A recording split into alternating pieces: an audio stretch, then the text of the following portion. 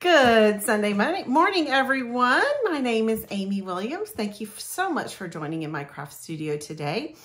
I am an independent Stampin' Up! demonstrator. Um, and today I'm going to show you something a little different. We're going to do um, a little uh, gift box that you could uh, put goodies in to give to your friends. This is definitely the holiday season where we gift giving season. Um, I've already started purchasing things. I'm excited about it. I love, I love this time of year because I love giving gifts. So um, this is this was right up my alley when I saw it. This was actually um, a demonstration that someone on our team demonstrated. Um, if you're interested in becoming a Stampin' Up! demonstrator and like to join the team, we would I would love to have you. Um, the link to that is below, uh, along with a link to my website if you see anything you'd like to purchase today. And um, if you would also like and subscribe, I would greatly appreciate that. All right, so today we are going to make this darling box, and you can see it's all four sides. We've done a little something on everywhere. You put your stuff in here, you can add tissue paper. How cute is that? I love this. You can do it for so many others. I have some um, other ones I'll show you at the end that I've done. So we're gonna go ahead and get started with this adorable little box. So here we go. All right, so here is, make sure everything is in. All right, so here we go. Here's what we're gonna make. Now I am using the framed florets um, stamp set that is actually not in the catalog yet. This will be in the mini catalog. It is um, this stamp set right here is the frame florets. It has um, paper, it has a die cut, it also has another stamp set that goes with it, and some really cute little jewels that um, are somewhere else in the studio that I can't remember where they are. So here's the stamp set. Now this will be in the, this will be in this mini catalog as well as the dies, okay? And it cuts all of these out and some things on the paper. And it's got some beautiful um, uh, frames. Let's see. Okay. It has got these beautiful frames. Let me pull this out real quick. Oh, man away. So you can see it has this one. A lot of people are calling this the Snow White. You can see where this um, does that. So it's got this frame, an oval, and then it has this heart one. It has this one that I'm using today, um, this and all these other ones that will cut out these. So there is the, um, the dies that go with that. Again, these will be in the mini catalog. Now it also has another stamp set that is only good through November because this is framed in festive and all of these are meant to go in those frames. And I have a frame cut out so you can see how they will all um, fit in the frame. So they will all do that. I love the um, um, font of these. I just thought it was a really fun font. Um, so I, I really liked that. So I, I got that. And then the paper, and I'm going to show you the paper. We're going to use some of it today. So here's the paper. We've got this one that uses um, Balmy Blue and Evergreen. And then I love this background. Um, this, of course, um, this is all occasion. Here's this with the polished pink on the back. This has got the, the flowers, the kind of set that you can see with this um, evergreen and blue. This is got some navy, balmy blue, evergreen. Love this on the background. Reminds me of wallpaper. I don't know why. I love this one. I think this is a gorgeous one. I think you can definitely um, make this very Christmassy. And then it's got the Blushing Bride on the back. And then this one is meant for these. These two will cut out with the um, die cuts. And I think this one might too. I could be wrong, but I thought it might work. And so, um, and then it has this beautiful one on here. So there is that. Now we are going to, um, we're going to start with the uh, scoring. And if you have this scoring um, uh, Simply Scored, then you are really going to be in business because this is how that goes. Let's see. I hope you can see all of it. Yes. Okay. So I have this set up at four and eight. So we're gonna make um, nine, nine squares of this. This um, tool comes with it. It has a small side and a large side. I don't know why I always use the small side. I just do. It's in my brain. That's what I do. Um, but you do want to be careful, especially if you're using designer series paper, um, that you don't uh, go too hard because it will cut through. This is a 12 by 12 piece of paper. And as soon as I saw her do this technique, I was like, oh my gosh, I don't have any paper that's, um, I haven't bought all the 12 by 12 sets yet. Well, of course, that's the next thing I did, then like two days later. Uh, but I also um, have got one that is with eight and a half by 11. So I'm going to show you that one as well. All right, so we're going to score and we're just going to go straight down at four and eight. And again, oh, I'm using Balmy Blue here. And I'm going to turn it. And I'm going to do this again at four and eight. Okay. So I have nine square. Now, the other thing you're to need is you're to need to score from here to here. And it's it's kind of it's it's kind of tricky. So I'm going to show you what I did. I have a clear ruler and that really helps me. So I'm going to make sure that my clear ruler is up against where it is. I've got my point in one of the grooves and I'm going to move the paper to where I'm going to be scoring. Okay. So that I've got that. And so then I know where to score here. Okay. And you can kind of see that I'm off, I'm here too. Okay. So I've got one. I'm going to do the same thing here. I'm going to butt this against, then I'm going to move my paper to get to that corner. Then I'm going to put this down and I'm going to score. Now, if your cutter has a scoring blade, you can absolutely do this. It's just a little difficult because this is quite a bit longer than your scoring blade. So this is, um, this is where this tool is amazing. I thought it was like, oh, I don't want to spend that much money on that. But you know what? It really has come in handy. Again, I'm butting it up against and I'm moving it to here. Let me see. That needs to be there. Okay, now I'm in business. There's my third one, and then one more. Oopsie. One more. I've got that right there. Put that point in there. And then I'm gonna line this up here, moving my paper, kind of seeing that I am equal all the way. So there you go. All right. Now I have all the scoring done. Simple and easy, I think. So I love that. So there's this. Now I'm going to get out my bone folder. And I'm going to fold and bone fold these because I want these to be nice and um, done. All right, I'm to do that. Oopsie. Okay, two, three, and four. And I just remembered that I forgot to get another piece of Balmy Blue. So I'm to do that real quick because I want you to see this inside piece. All right. All right. Okay. Now, I want to make sure that my box is um, um, sturdy on the bottom. Now, our cardstock is a nice thick weight, okay? But if you're going to be doing something at all heavy, I want you to go ahead and cut another piece. Now, the bottom of this is 4 by 4 but I'm not going to cut this 4 by 4 I'm going to cut it 4 and 7 eighths. Wait, 6 eighths, okay?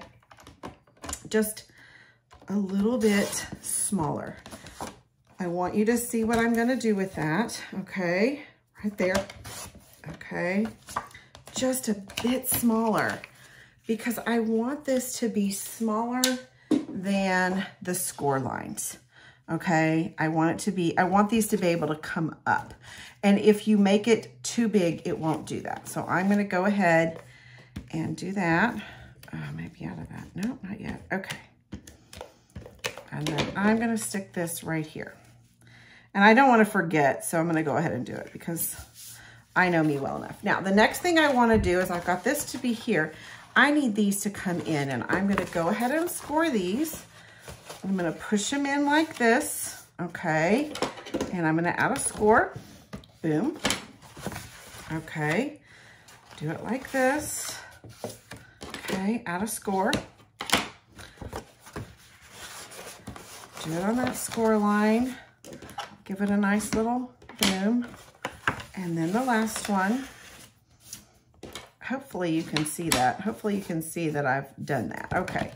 So then you can see where these will all, these are all going to come in like this and create your box okay? And I'm gonna show you a minute how this is gonna come around. Well, actually, I can show you right now. It's gonna use a ring to, to attach these, okay? Now, we don't want these sides to just look like this, so we're obviously gonna decorate a little bit. So let's go ahead and start doing that. Now, I'm gonna set this aside just a moment. I'm gonna start with this piece of white, okay? And I'm going to use this frame. I've decided to use this frame. Sometimes I'm not as frilly. Sometimes I, di I didn't really want that frilly. Um, I don't, I'm not a big heart person, so, uh, but I really love, I love this one. So we're going to use um, Wishes for a Beautiful Birthday because I feel like typically when I'm giving gifts, it's going to be a birthday gift. So I'm going to go ahead and I've got this on my block already. I'm using Evening Evergreen. I'm going to put this here so that I know where I want to stamp it. Okay, I'm going to put this kind of in the center. Okay, and I could go ahead and put it down, but I'm not going to. All right, so I'm going to do that, and then I'm going to put my Warm Winter Wishes. Mainly that if that's all the way down and I mess up, I can't turn the paper over. So there we go. Warm Winter Wishes. Put that to the side. Our wishes for a beautiful birthday. Oh, I keep saying warm winter wishes. All right. Now, I'm going to take this and I'm going to put the frame around it. All right. Uh, okay. Let's see. Let's get this down like that. Wishes for a beautiful birthday. Okay, now I've also, I went ahead and cut this out. This is um, actually, and I'm going to go a little bit higher because, well, I can, uh, because um, I can go higher. I just really can't go lower. If it goes, uh, if it goes above, that's okay, but I don't want it below. So I'm going to go ahead and put this here. I'm going to kind of figure out how I want it. I think I think maybe like that. Looks good. So of course I'm going to use dimensionals because, well, it's me. But I'm going to make sure that I don't go too um, high with the dimensionals because I know I'm going off of here. So I'm going to kind of keep these kind of, kind of on the down low. All right. It's not funny. I know. I'm sorry. Um, all right, so I'm gonna add these.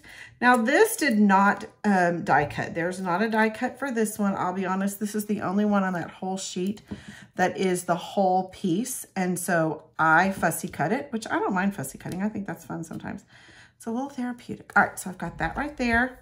I thought I wanted a little bit down below, so I cut this out. I'm gonna add this right here, okay.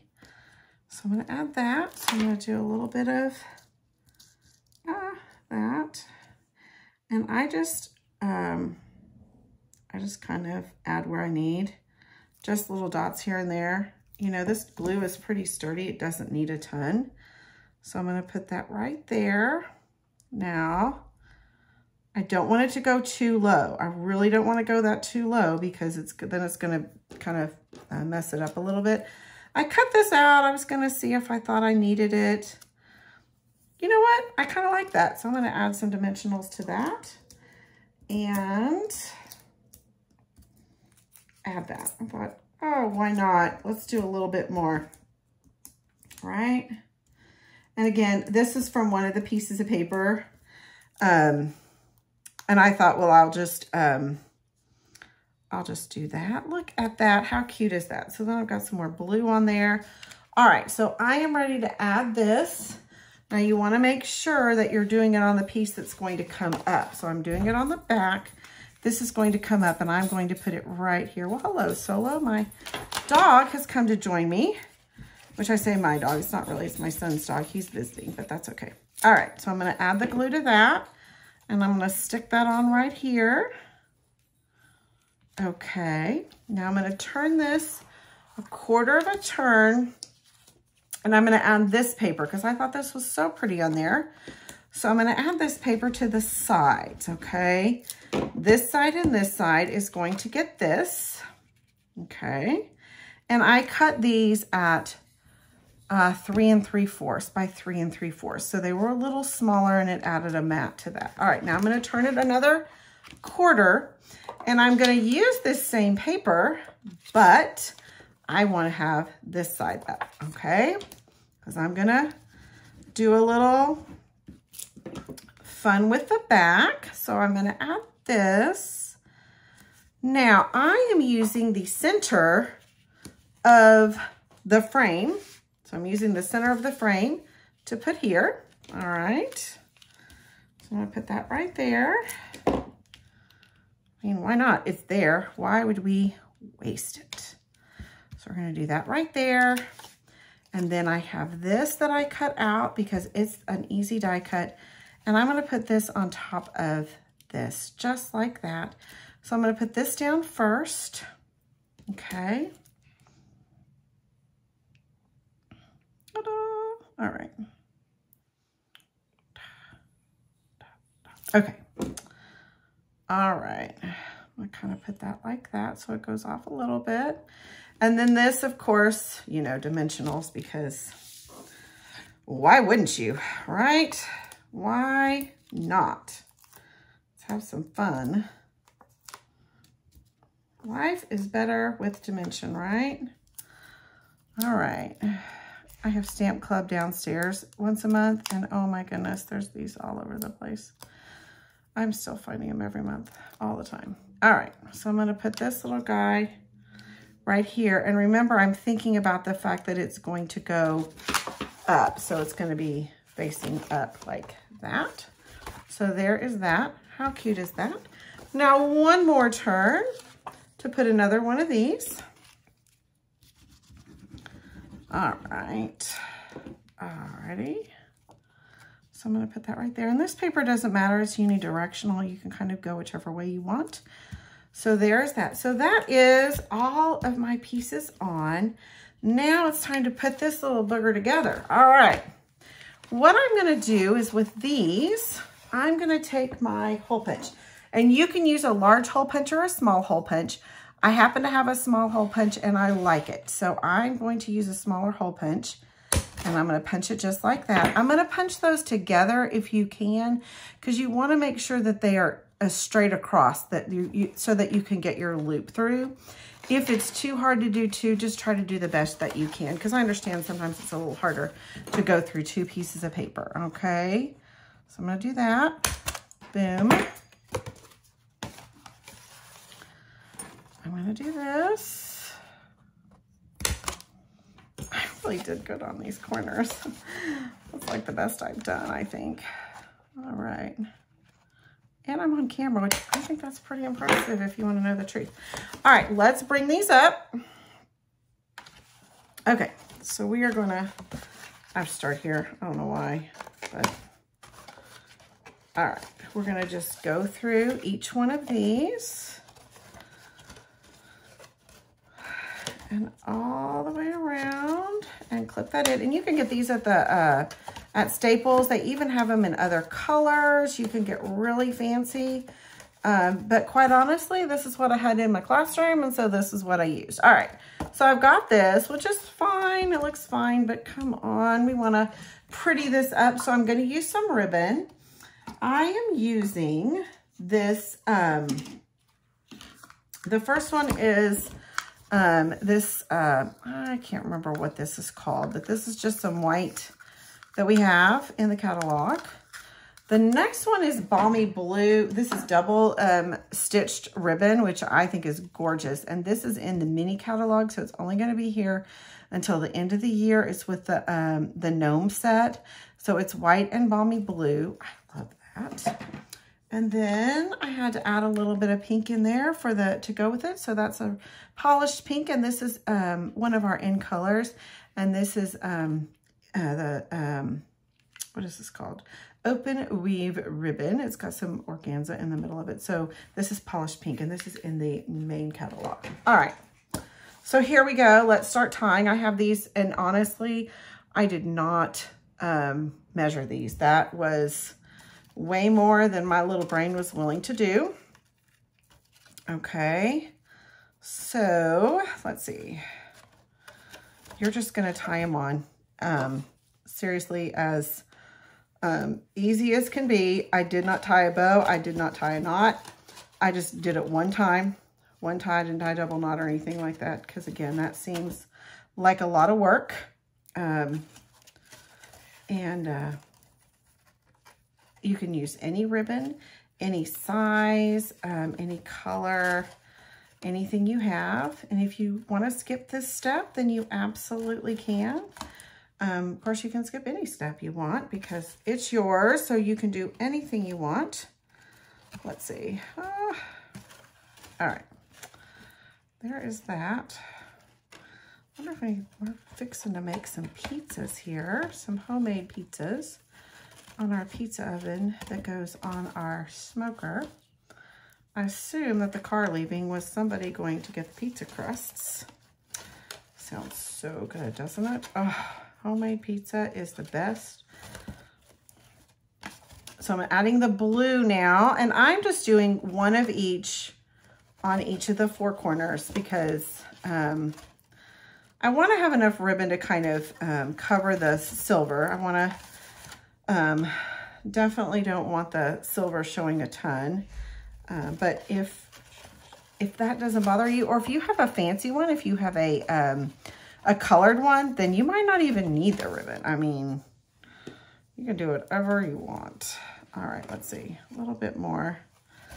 You know, I think this actually, I think this is, I think this is covered enough. I don't even think I need the pink, to be honest with you. I think this is, I think this is plenty of ribbon. But again, if I wanted to add the pink, I could.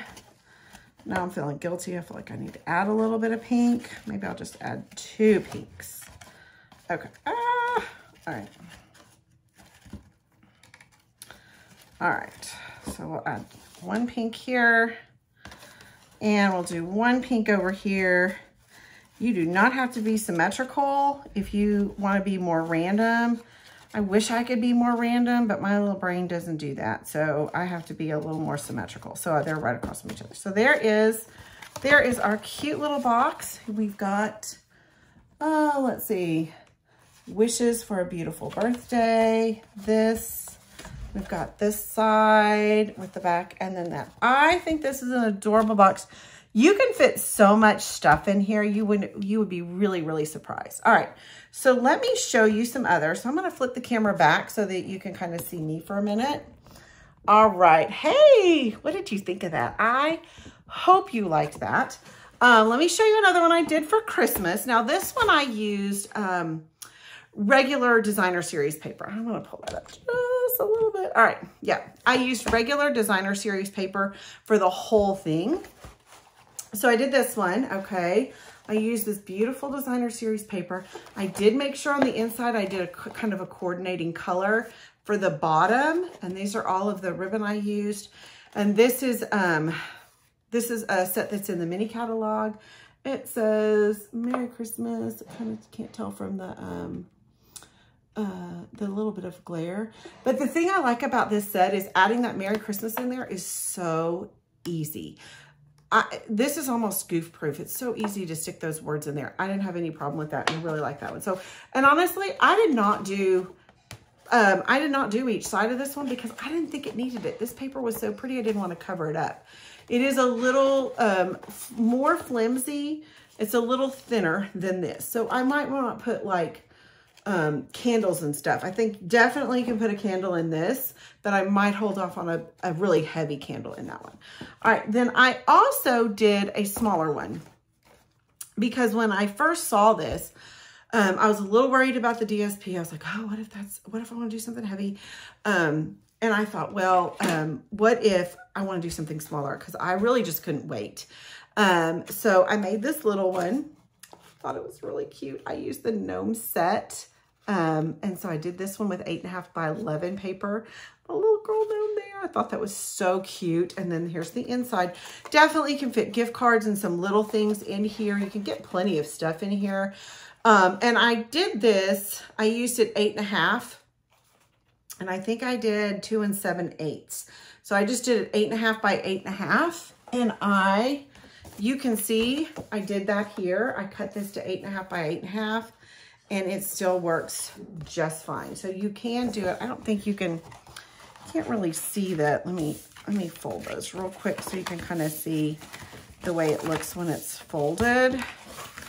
Um, two and six eighths is what I did. So you can kind of see the um, folds right there and it folds in. So you can do it with eight and a half by 11 if you don't have 12 by 12, because definitely I think this is something you could use all the time. Have these, have these stored away. If you have a teacher in your life, make her these, put school supplies in there.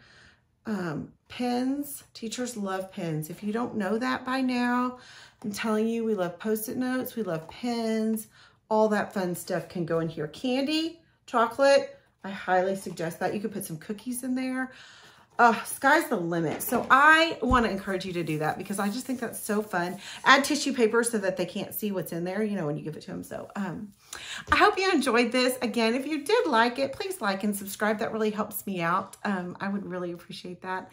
And uh, thank you and tell me in the comments what you think. I hope that you have a fantastic week. Um, create something and do something kind for someone else. Bye. Have a great week.